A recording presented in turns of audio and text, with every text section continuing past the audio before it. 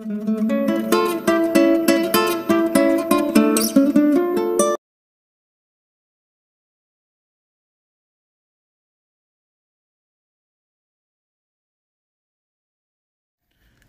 so today gawa tayo ng ito DIY na agility ladder. Maganda kasi ito para sa inyong footwork training exercises. Agility pampabilis yung ano yan, ng paa. Tapos cardio na rin yan. Ang ginamit ko lang dyan is karton tsaka spray paint. So gagawin nyo sa karton tulad nitong ginawa ko na to yan, nagsukat ako niyan 20 inches ang haba niyan.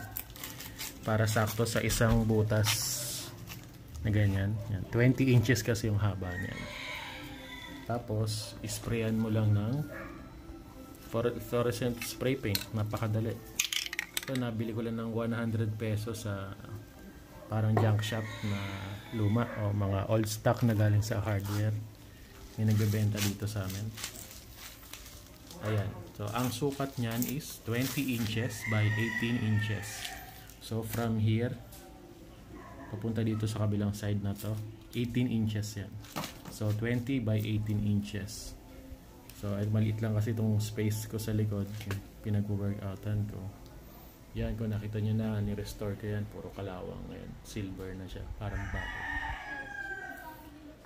Ayan siya. 6 panel siya. So magandang exercise yan. So mamaya papakita ko sa inyo yung mga simple exercise for your agility ladder training. So ito, fix na yan dyan. So pag medyo nabubura-bura, kunin nyo lang ulit yung karton nyo. Huwag nyo tapon yung karton. Tapos isprayan nyo lang ulit siya.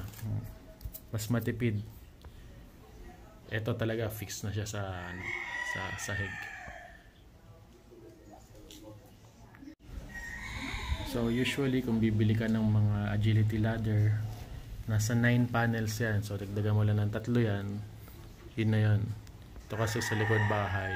Pwede ko pa siya nagdagan ng tig-isa siguro. So para at least 8 panels siya. Or kung talaga nagtitipid kayo, kuha lang kayo ng basag na paso. Tapos i-drawing mo lang yan dyan. Gawa ka lang ng linya sa, pa, para may guide ka lang para sa inyong uh, agility training exercises. Hindi naman kailangan magastos lagi sa pag-workout. Kailangan mo lang igalaw yung katawan mo at kailangan lagi magpapawis. Kahit around 10 to 15 minutes a day lang. High intensity workout. Yung talagang tataas yung heart rate mo up to 140 to 160 or up to VO2 max. Maganda na yan para sa iyong everyday workout routine.